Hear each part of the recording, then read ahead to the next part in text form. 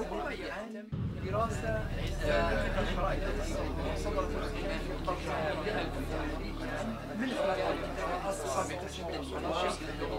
بل هناك راس أكثر ولكن هذا وفي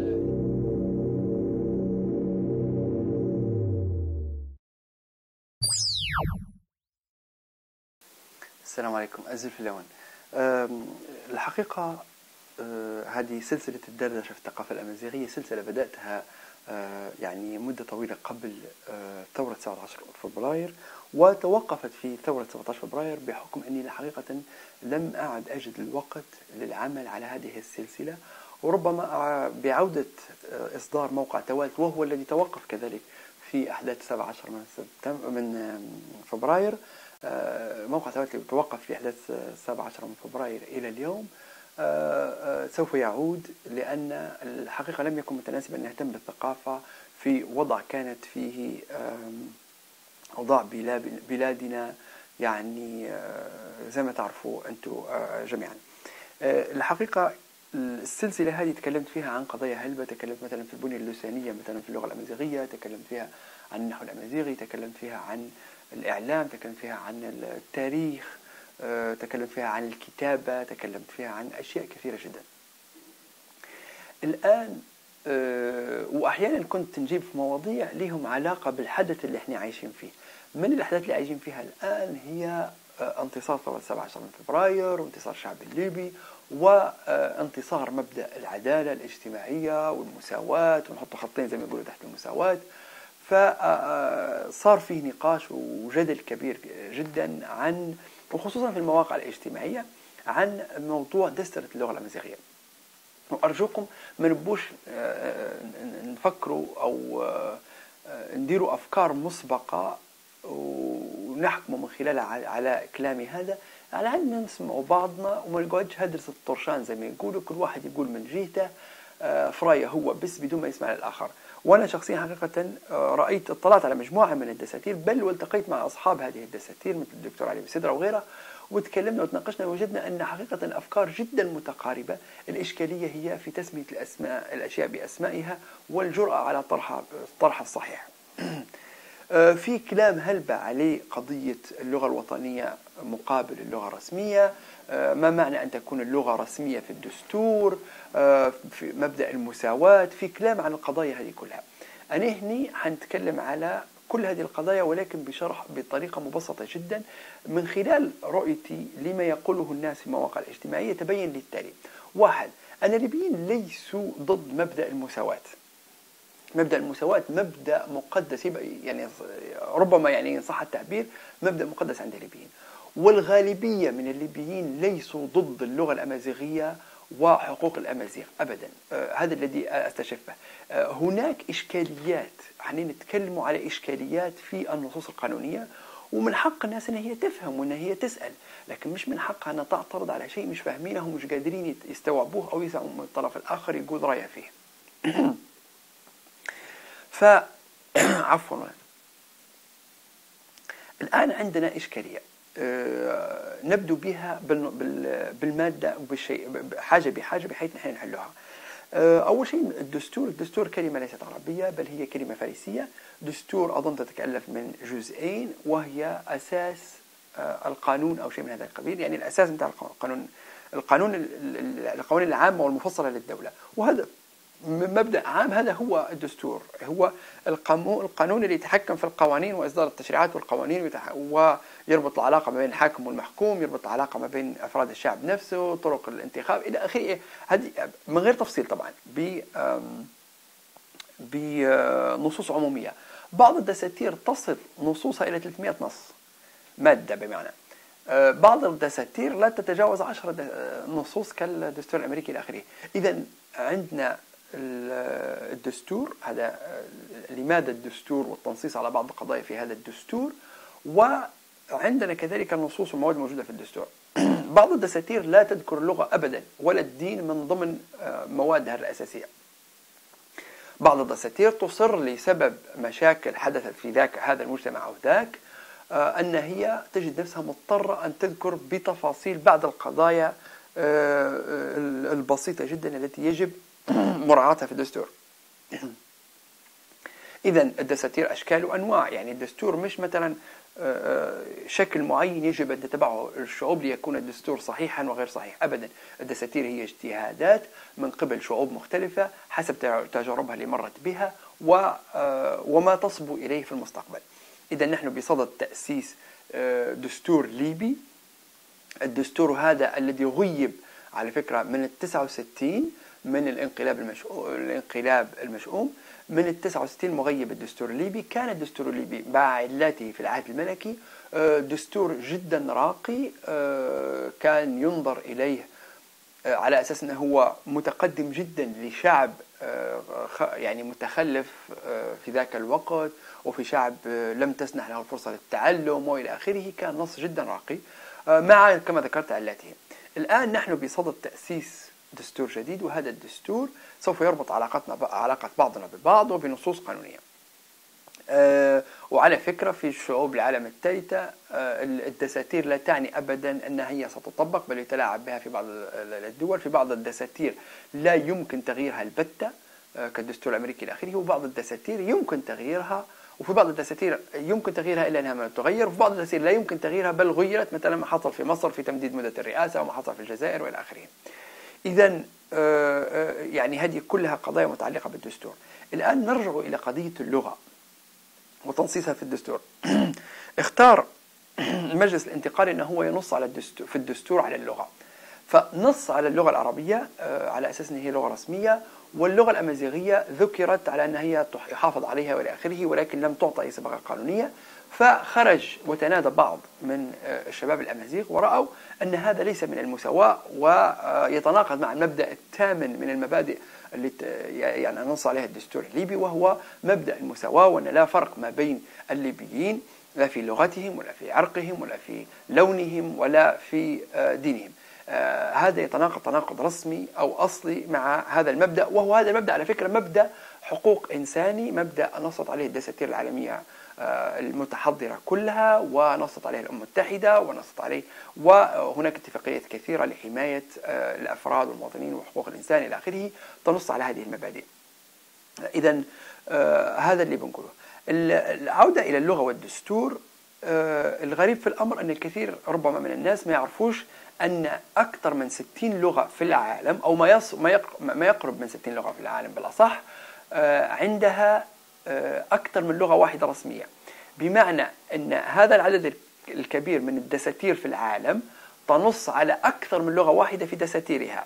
آه، من لغتين فما فوق بل تصل إلى 23 لغة زي الهند وتصل إلى 11 لغة زي جنوب أفريقيا تصل إلى أربع لغات زي سويسرا تصل إلى ست لغات زي آه، أظن إسبانيا إلى آخره. إذا آه، الغالبية من الدساتير العالم تنص على أكثر من لغة وليس لغة واحدة كما يظن الكثيرون. طيب هذه من ناحية. من الناحية الثانية هناك لغات ثانية. هل يعني أن باقي اللغات أو عفوا باقي الدساتير تنص على لغة واحدة؟ لا. هناك دساتير كثيرة لا تنص على اللغة أبدا وأبرز مثال على هذا هو أمريكا. أمريكا لا توجد فيها لغة رسمية آه، توجد فيها لغة وطنية وهي آه، الإنجليزية وهي الأوسع انتشارا ولكن وتوجد مثلا الإسبانية اللغة اللي هي آه، قريبة جدا من الإنجليزية في عدد مستخدمينها إلى آخره. إذا وعلى فكرة في كثير من المحافظين الأمريكيين يحاربون أو يجاهدون لأجل إدراج اللغة الإنجليزية كلغة رسمية في الدستور الأمريكي. إذا آه الغالبية كما ذكرنا آه، من لغة من دساتير العالم تنص على أكثر من لغة. آه إذا آه، ليبيا لن تكون في بدعة من أمرها بأن هي تجعل أكثر من لغة واحدة رسمية. عندنا مثال مثلا المغرب الأقصى اللي هو مؤخرا نص على اللغة الأمازيغية إلى جانب العربية لغتين رسميتين إلى للبلاد. الجزائر تقول اللغة العربية اللغة الرسمية للبلاد واللغة الأمازيغية لغة وطنية. وهنا ربما يكون آه، يعني حديثنا عن ما معنى وطنية. وطنية آه، غالبا توصف بها اللغات الوافدة. بمعنى مثلا روسيا والاتحاد السوفيتي السابق آه، كانت اللغة الروسية هي المستخدمة في كثير من هذه الدول. بعدين لما استقلت هذه الدول وجدت عندها إشكالية أن قوانينها وأن كتاباتها وأن معاملاتها الرسمية أكثر مكتوبة بالروسية مع أنها ليست لغة آه، الشعب اللي هم آه، مثلا في الدول القوقاز إلى آخره ليست لغة الشعب. فاضطروا إلى استعمال هذه اللغة كلغة وطنية. بمعنى أن هي تضاف إلى اللغات الوطنية الموجودة بمعنى أن هي وافدة وأضيفت. فاللغة الأمازيغية وجعل اللغة الأمازيغية لغة وطنية في ليبيا لا يعني شيء لا من الناحية القانونية ولا من الناحية آه، التاريخية لأن اللغة الأمازيغية ليست وافدة بل بالعكس هي لغة, وطنية بامتياز و آه، ولا أقصد بالامتياز أن في أحد عنده امتيازات على الآخر أبدا أقصد بامتياز بمعنى بأصالة. آه، فتنصيص اللغة الأمازيغية كونها لغة وطنية لا يعني شيء من ناحيتين كما ذكرنا أن هي ليست لغة وافدة. الناحية الثانية لما تقول اللغة الفلانية لغة وطنية كأنك تقول في كتاب التاريخ ومن اللغات المستخدمة في هذه البلد هذه اللغة لكن لا تحمل أي صيغة قانونية. أه وجدت في بعض المقترحات الدستورية في ليبيا في الأحداث في الأيام أه الماضية أه نص يقول اللغة العربية هي اللغة الرسمية واللغة الأمازيغية هي لغة وطنية مع كفالة حقها في التعليم وحقها في الاستخدام كذا وحقها في كذا. هذه مكابرة لأنك لما تقول حقها في كذا وكذا وكذا كأنك تقول أن هي دستورية. فلماذا لا تقول دستورية وتريح روحك؟ لأن ليس من اختصاصات من اختصاصات الدستور هو التنصيص على المواد بعينها والاستخدامات بعينها. الدستور يعطي قانون عام ثم على المشرعين أن يأخذوا منه يستنبطوا منه أو يستنتجوا منه كل التفاصيل المتعلقة باللغة أو آه، بالمعاملات إلى آخره. ليست طبعا اللغة هي الوحيدة في الدستور. إذا اللغة وطنية هذا تحصيل حاصل وهذه خديعة تلجأ إليها بعض الدول آه، الدكتاتورية آه، فليبيا في في رأيي يجب أن تت يعني تتشبه بدول ديمقراطية ولا تتشبه بالدكتاتوريات مثل دكتاتورية الجزائر التي تنص فقط على وطنية اللغة الأمازيغية ولا تنص على دستوريتها. بينما المغرب الأقصى آه، مع التحول الديمقراطي اللي فيه إلى آخره أصبح آه، أصبحت اللغة الرسمية فيه اللغتين العربية والأمازيغية. آه، وأصبح أمر طبيعي على فكرة عند الشعب وإلى آخره مع وضع بعض المهلة لتطبيق أو لتطبيق الترسيم اللغة الأمازيغية. طيب زي ما قلنا من البداية الشعب الليبي ليس ضد اللغة الأمازيغية وليس ضد الثقافة الأمازيغية والى اخره أنا أنا في نظري إن الغالبية من الليبيين بالعكس. وهذا عن تجربة. أنا من يعني في أحداث 17 فبراير ربما جر جلت في مناطق كثيرة جدا في ليبيا آه، ابتداء من الشرق إلى الغرب ونتمنى قريبا الجنوب آه، الليبي.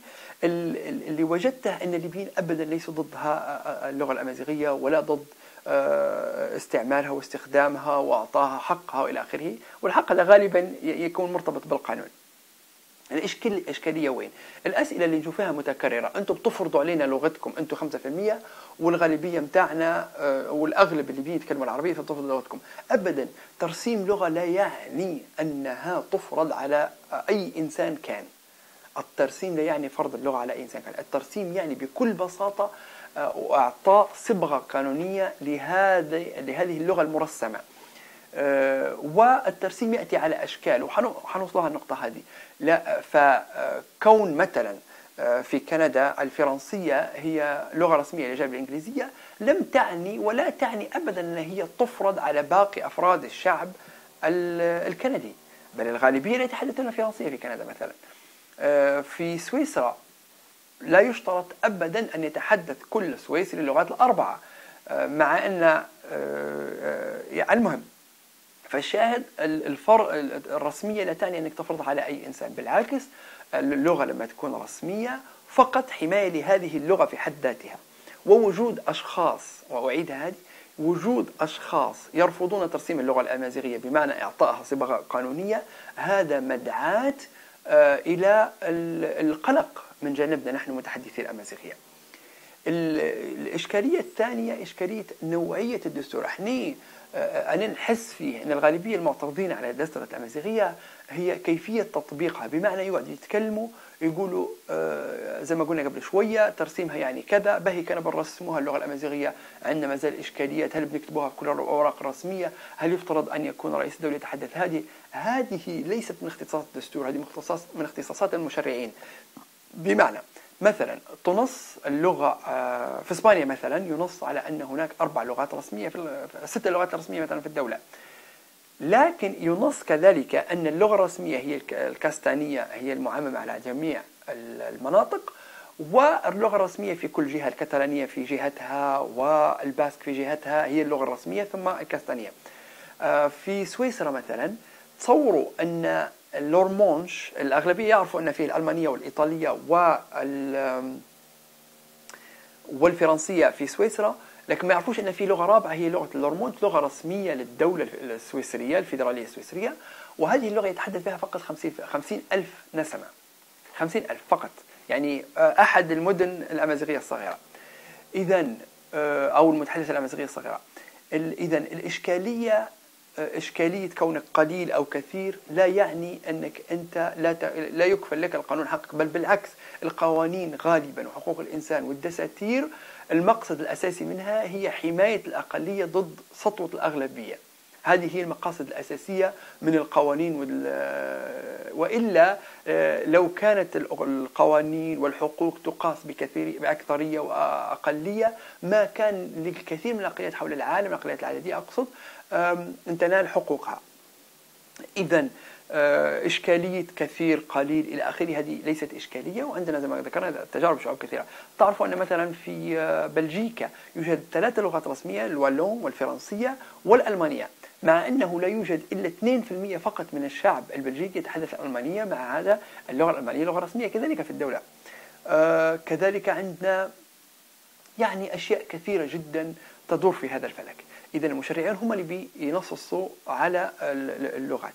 أو آه، كيفية تطبيق هذا الترسيم. يعني كون عندنا إشكالية هذا لا يعني أن نبخس الناس حقهم.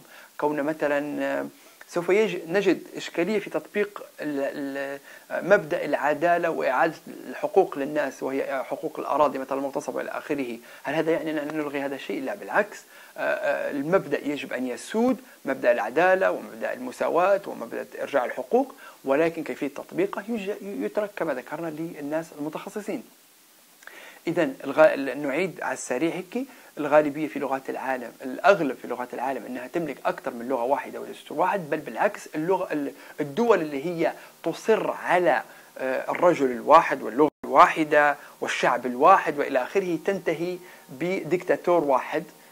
يحكم البلاد وتسلط عليها زي ما حدث في ليبيا الوحدة الوحدة الوحدة الوحدة اللي اجتنى بها القذافي آه، انتهت به بأن يكون ديكتاتور مطلق على ليبيا. والأمثلة في الحقيقة في الشعوب المتخلفة اللي حوالينا هي خير أمثلة على هذه هذا المبدأ مبدأ الواحد والتوحد إلى آخره. فننتهي بعصر ديكتاتوري. إذا كان إحنا نصب ونرنو إلى دولة عدالة ومساواة ودولة حقوق يجب آه، علينا أن نطبق هذا المبدأ ولو كان مؤلم للبعض منا ولو كان صعب على البعض منا فهمه يجب أن يطبق إلى أبعد الحدود آه، آه، الممكنة مبدأ العدالة والمساواة الاجتماعية وعدم التفريق والتمييز. ليبيا ستواجه بعض المشاكل القانونية إن لم ترسم الأمازيغية في القوانين الدولية وفي تطبيق التعاريف اللي تحدث عنها الكثيرون. آه، فيه دول زي ما ذكرنا نصت على آه، أكثر من لغة في دساتيرها. آه، عندنا مثلا العراق. بعد تحريرها من صدام حسين وسلطة حزب البعث أصبح عنده لغتين رسميتين اللغة العربية واللغة الكردية مع الحفاظ على اللغات الأخرى إلى آخره ولكن نص على اللغة الكردية وهي رسمية في جهتها. إذا توجد ممكن لغات رسمية آه، في جهة معينة إلى آخره. هذه هذه كما ذكرنا الإشكاليات كلها تترك إلى أصحاب الشأن لكن آه، كيف هم يفصلوا في هذه الأشياء؟ هل مثلا الأوراق اللي مثلا توزع في آه، ما أدري يعني مثلا في بنغازي مع عدم أو قلة وجود المتحدثين الأمازيغية هناك هل تكتب باللغتين؟ هل في طرابلس مثلا كذا؟ هل في منطقة الأمازيغ فقط اللي يتحدثوا الأمازيغية؟ هم فقط تكتب فيهم الأوراق الرسمية باللغتين مثلا أو تدرس اللغة الأمازيغية فيها كبريورتي إلى آخره. هذه الإشكاليات هذه نحن لن نخترعها من عندنا. هذه الإشكالية سوف تحل ببساطة جدا لأن في عندنا نماذج كثيرة جدا في العالم. تنص على هذا آه ذكرنا في بداية الكلام تاعنا الموضوع متاع اللغة الفرنسية والإنجليزية في كندا. اللغة الأولى في كيبك هي اللغة الفرنسية بينما اللغة الثانية هي الإنجليزية هناك. وفي أونتاريو مثلا اللغة الأولى هي الإنجليزية والثانية هي الفرنسية. في آه، أيرلندا القسم الإنجليزي منها اللي هو مثلا يتبع بريطانيا. اللغة الأصلية فيه آه، إذا كان أنا مش مخطئ في هذا آه، اللغة الأولى فيه هي اللغة ال Irish واللغة الثانية هي الإنجليزية والعكس ومع كفالتها في المناطق الثانية اللي هي الأغلب فيها إنجليزية متحدثة الإنجليزية. إذا قضية الترسيم والتغليب الأولوية وإلى آخره. الترسيم يعني بكل بساطة حفظ حقوق هذه المجموعة اللغوية ليس إلا ولا يعني أبدا فرضها على الآخرين ولا يعني أبدا أن هي من غدا يجب أن تطبق أو رئيس الدولة يجب أن يتحدث. هذه نصوص ملحقة يجب أن آه، تراعيها الدول حسب احتياجاتها وحسب آه، أهميتها. هل تعلمون كذلك أن الهند عندها 23 لغة رسمية؟ ومن بعض هذه اللغات الرسمية في الهند لا بعض اللغات لا تكتب أصلا. ليست لغة مكتوبة وليس لها حروف. مع هذا نصص عليها في الدستور أنها هي لغة رسمية للدولة. آه، بل حتى بعض الشعوب الأصلية في أمريكا الجنوبية إلى آخره كانت اللغة في آه، نصص على بعض اللغات فيها لغات رسمية مع المتحدثين بها قليلين جدا. وكذلك هؤلاء المتحدثين زي بوليفيا أظن دولة متقدمة جدا في هذا الباب. آه، أقصد من باب اللغة وليس وإلا هي عندها إشكالياتها الخاصة بها. ولكن في بوليفيا مثلا آه، لغات الشعوب الأصلية بعضها لا تكتب ولا يعرف عنها أنها كتبت وربما إلى الآن لا تكتب مع هذا فهي رسمية. الترسيم زي ما ذكرنا من قبل آه، لا يعني أبدا فرض على أي أحد أو إلى آخره. آه، يعني مثلا مثلا آه في في الدستور بل يذهب بعض الناس أو بعض الدساتير أبعد من هذا في قضية الحفاظ على اللغات الوطنية إلى آخره، الوطنية أقصد بالأصالة وليس الوطنية من الوافدة. الوطنية بالأصالة مثلا في الدستور الجنوب الأفريقي يقولون في المادة السادسة المتعلقة باللغات إدراكا مني لتراجع استخدام اللغات الأصلية لشعبنا وتراجع وضعها تدريجيا. تتخذ الدولة إجراءات عملية وإيجابية لتحسين وضع هذه اللغات والنهوض بها باستخدامها. هذا على بعض اللغات الجهوية في جنوب أفريقيا. والتي طبعا طالها الإهمال بسبب الميز العنصري آه، لمدة طويلة. آه، إذا هذا كل كلامنا تقريبا اللي بنقولوه على ترسيم اللغة الأمازيغية. وربما في حلقة قادمة نجيب حد متخصص آه، من من أهل القانون ويحدثونا عن هذا المبدأ مبدأ المساواة ومبدأ اللغة الرسمية واللغة الوطنية وما نجده في نصوص وقوانين شعوب العالم. اللي هي في أغلبها متعددة والتعدد آه، هو الأساس في آه، التعدد مع الاحترام طبعا ومع سيادة القانون. هو الأساس في رفاهية وتقدم الشعوب. لما تكون الشعوب أكثر تعددا يصير فيه التنافس الشريف ما بينهم التنوع الثقافي إلى آخره. هو المبدأ السائد الآن بين الشعوب. شكرا لكم. تنمير نون إلى حلقة ثانية.